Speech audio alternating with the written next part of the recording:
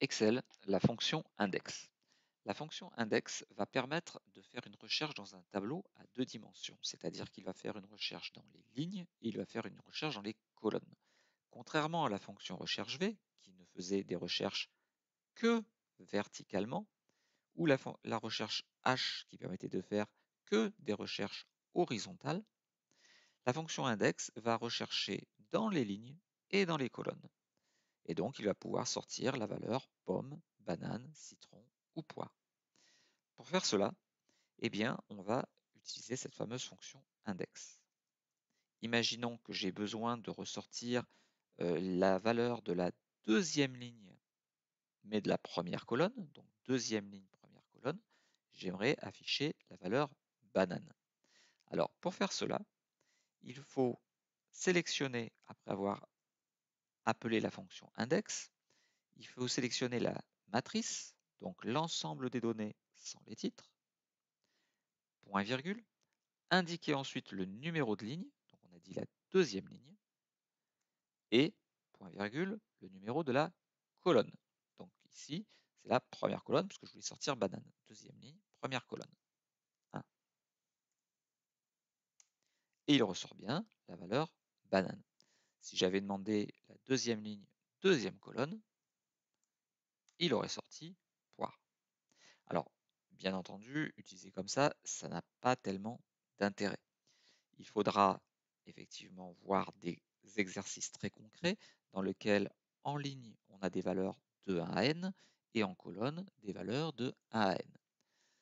Généralement, la fonction index s'utilisera avec une autre fonction qu'on verra plus tard, qui est la fonction équive, où là, on pourra faire des, des recherches dans des tranches. Mais on le verra dans un second temps. Donc, prenons un premier exercice où la fonction index va s'utiliser avec euh, toute seule avec des valeurs croissantes de 1 à n en ligne et en colonne. Alors pour cela, on va télécharger la ressource qui s'intitule euh, prime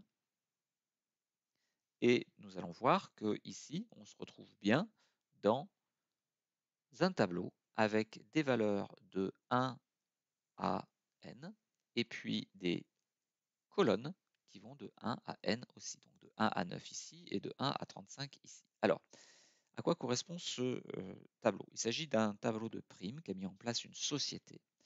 Un personnel aura le droit à une prime en fonction du nombre d'enfants qu'il a, donc de 1 et en fonction du nombre d'années d'ancienneté qu'il a, qui va de 1 à 40. Quelqu'un qui aurait deux enfants et deux ans d'ancienneté aura une prime de 250 euros. Deux enfants, 6 ans, 6 ans d'ancienneté, 450 euros. Donc cela signifie qu'il va falloir afficher le nombre d'enfants. On va prendre deux, justement, deux enfants et 6 ans d'ancienneté. Le but est de trouver donc deux enfants, 6 ans d'ancienneté, 450 euros. Alors, on va voir si Excel est capable de le faire. On va faire égal index, ouvrez la parenthèse. La matrice, on l'a vu tout à l'heure, c'est l'ensemble des données sans les titres. Voilà. Point virgule. Ensuite, on doit afficher le numéro de ligne. Donc, on a dit que le numéro de ligne, c'était l'ancienneté. Tout ça, c'est identifié par l'ancienneté l'ancienneté c'est ici, point virgule, le nombre d'enfants, le nombre d'enfants il est indiqué en colonne, colonne 1, colonne 2, colonne 3. Donc du coup là on va cliquer ici. Donc index, la matrice, le numéro de ligne et le numéro de colonne. On ferme la parenthèse, on valide et on a bien 450 euros pour deux enfants et 6 ans d'ancienneté. 450. Si on change et que l'on prend 2, 3 euh, ans d'ancienneté et 6 enfants, on devrait avoir 1100 euros. Donc on a dit 3 ans d'ancienneté, 3, 3 ans d'ancienneté et 6 enfants.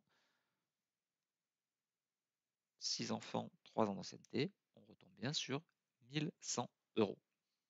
On va d'ailleurs le passer au format monétaire pour que ce soit plus convivial. Voilà pour la fonction index seul. Dans la prochaine vidéo, on reprendra le même exemple mais avec une autre fonction qui s'appelle la fonction Equiv et qui permettra de faire des recherches dans des tranches.